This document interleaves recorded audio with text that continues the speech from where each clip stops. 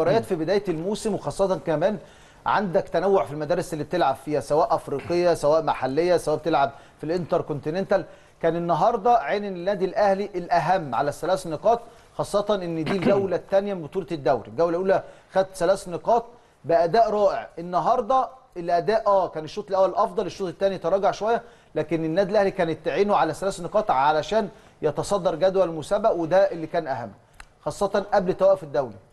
أكيد طبعا المكسب هو المهم. الثلاثه بونت يعني الكابتن هيتكلم في حاجة مهمة هو ال ال الأداء ولا المكسب؟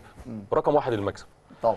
الأداء متباين ما بين الشوط الأول يعني ب ب بنسبة أعلى من آه، من زد. الشوط الثاني لا زد شارك معاك بشكل كبير وعمل عليك خطورة و واستحوذ كتير في معاك في نص الملعب.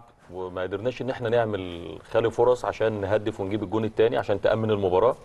لكن واضح إن مبارياتنا مع النادي الأهلي مع زد هي نتيجة ال 1-0 أو ال 2-1 يعني ما فيهاش لغاية دلوقتي الموسم السابق 2-1 في الدور الأول. وواحد صفر. الثواني الأخيرة الاهلي والدور الثاني 1-0 1-0 وبالمسمى القديم برضه هتلاقي نفس ال... نفس الكلام مفيش مفيش أربعة مفيش خمسة ما آه لو هنتكلم على أداء النادي الأهلي خلينا أسامة نتكلم على الشوط الثاني وتدخلات آه، كولر. آه كنا دايما إحنا يعني هو كان سامعنا في ال... في الاستوديو وإحنا بنتكلم على قفشة.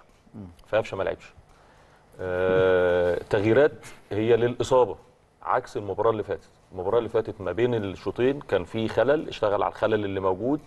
نزلت الشوط الثاني تسيدت المباراة قدرت تكسب مكسب كبير جدا. قدام فرقة محترمة جدا فرقة سيراميكا. النهارده كل التدخلات والتغييرات كلها للإصابة. من أول آه، آه، رامي ربيعة السوليه في نص الملعب وكوكا يرجع يلعب مع خالد عبد الفتاح. كان فيها جزء من المجازفة من المخاطرة ولكن لما تكون انت أثناء المباراة وأنا بلعب ويتغير مكاني بيبقى سهل.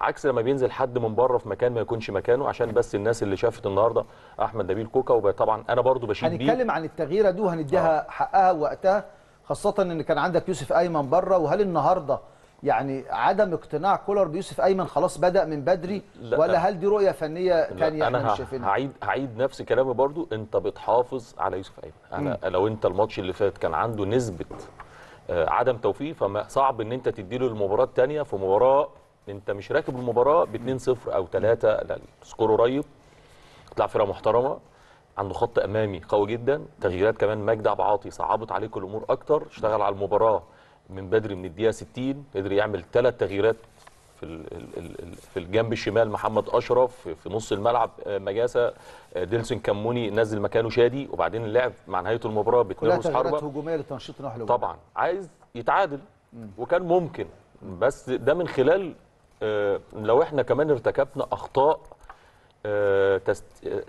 تتعاقب عليها. بدون أخطاء أنا كنت شايف النادي الأهلي الشوط الثاني هو المباراة راحت لتجارية أكتر. إن أنا أنا حققت الهدف المطلوب. إن أنا أنا أخدت البونت آه، استحواذ أكتر. الاستحواذ بالنسبة للنادي الأهلي في الشوطين 55 ل 45 56 44 ثمان ضربات ركنية ولا واحدة فيهم آه، تطلع مثلا صح. آه يعني كلهم للأسف يعني.